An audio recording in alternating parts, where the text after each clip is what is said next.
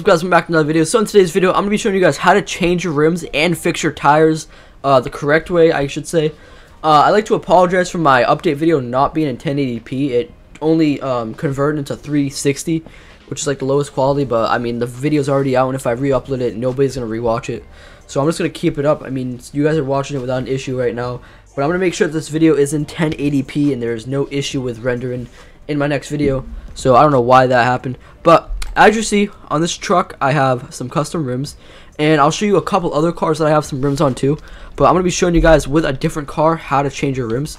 So I gotta turn my graphics down because my PC is really bad.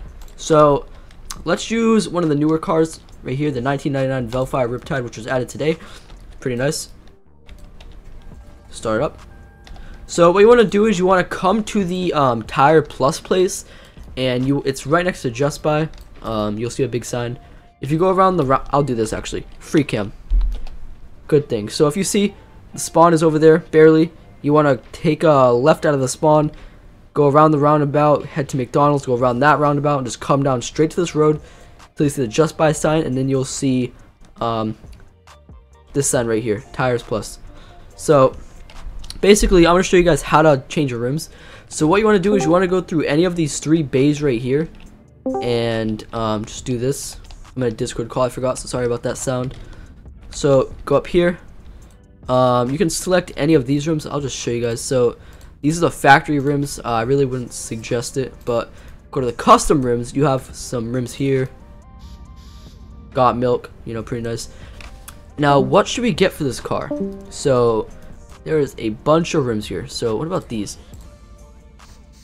Those actually, it actually looks nice for this car. Some of you guys won't like it but I like that. So, how to uh, fix a tire being popped. So, what you have to do is you actually have to switch the team. So, go on the uh, tires plus team. It's going to teleport you back to spawn. But, um, basically, you don't have to be at the, um, you don't have to be at the repair shop to do the tires. So, I'll just show you guys, I'll pop my tire and I'll show you guys how I repair it. I don't know how I'm going to pop it. Like, where's a good place?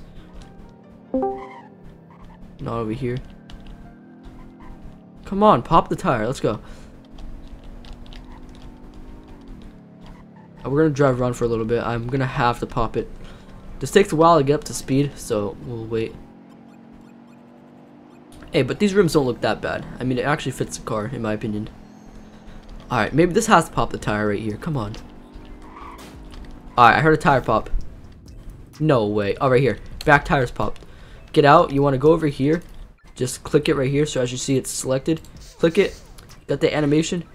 And it is all set. So that's basically how you fix a tire. And that's how you um, do your rims. So if you guys enjoyed, make sure to like, subscribe. Um, I'll have a couple other videos out about the update too. Um, so stay tuned uh, with notifications on. And other than that, I'll see you guys in the next one. Peace out. I feel like I lost you in crowd. And now I never hear from you now